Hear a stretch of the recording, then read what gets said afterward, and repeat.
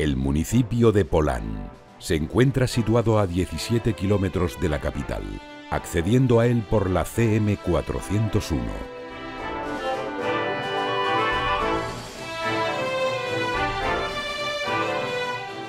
Su territorio, eminentemente llano, se extiende sobre la margen izquierda del río Tajo, interrumpido solamente por algunas zonas de altura como la Jarosa y Bañuelos.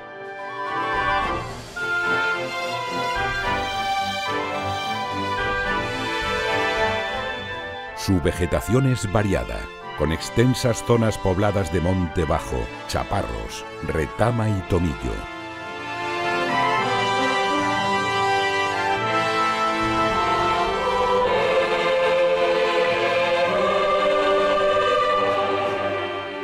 Y en cuanto a su fauna, abunda sobre todo el conejo, la perdiz, la paloma y la liebre.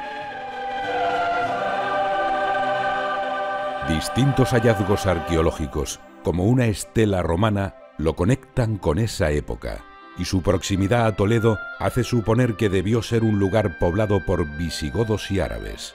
Su topónimo Pola hace referencia a Puebla, a una repoblación cristiana que se efectuó entre la reconquista de Toledo por Alfonso VI y la posterior ampliación de las fronteras del sur del Tajo hasta los montes de Toledo bajo el reinado de Alfonso VII, quien dividió el territorio en cuatro partes, una para Domingo Abumelec y tres para el mozárabe Miguel Azaraz, quien repartió la mitad entre 46 pobladores que fundaron Polán.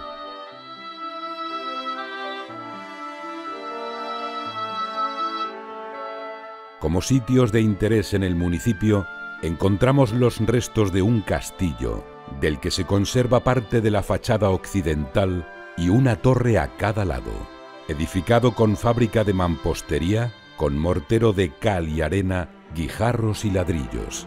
Debió construirse en el siglo XII para contener los ataques de los árabes empeñados en recuperar la línea del Tajo.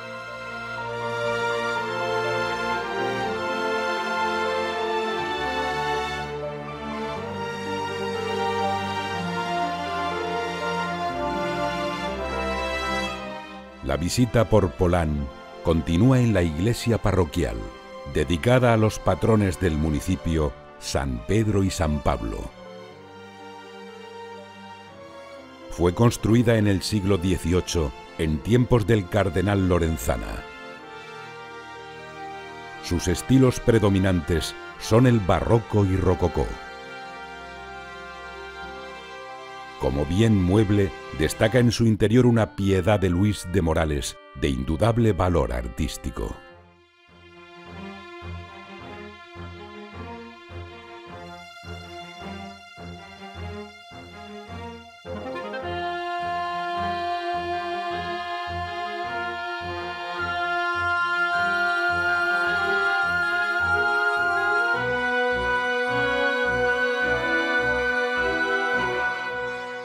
Se conserva también la ermita de San Sebastián, templo situado en lo que fue la entrada del pueblo con el fin de proteger a la población de la peste. El interior es de planta rectangular, con una capilla poligonal a ambos lados.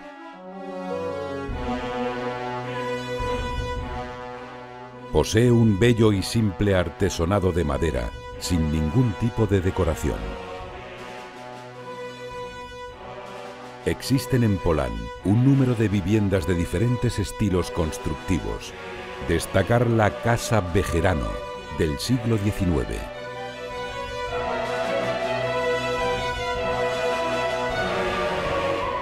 Casa de las Columnas, con una portada del siglo XVII.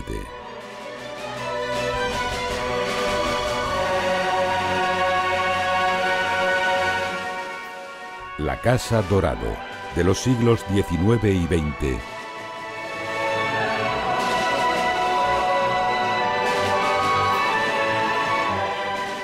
Y la casa de la familia de Corcuera y Hernando, fechada en el siglo XVII y que ofrece al exterior un perfecto ejemplo de restauración.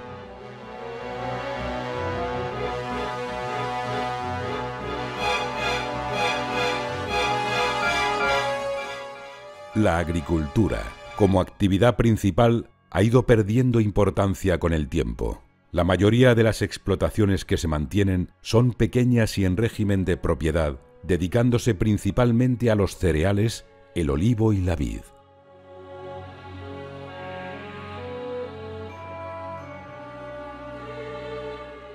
La ganadería también ha ido perdiendo importancia con respecto al pasado, excepto en el caso del ganado porcino.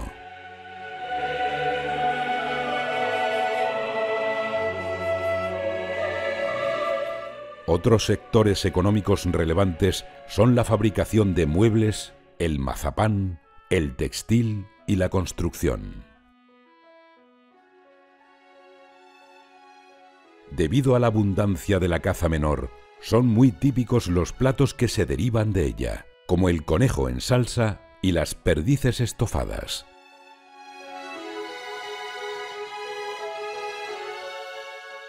También forma parte de la tradición gastronómica algunos platos como las gachas, las puches y las migas. Mencionar también los dulces elaborados por diversas empresas artesanas del municipio. De ellos tienen gran fama el mazapán y el turrón, las magdalenas y sus lenguas de obispo, entre otros.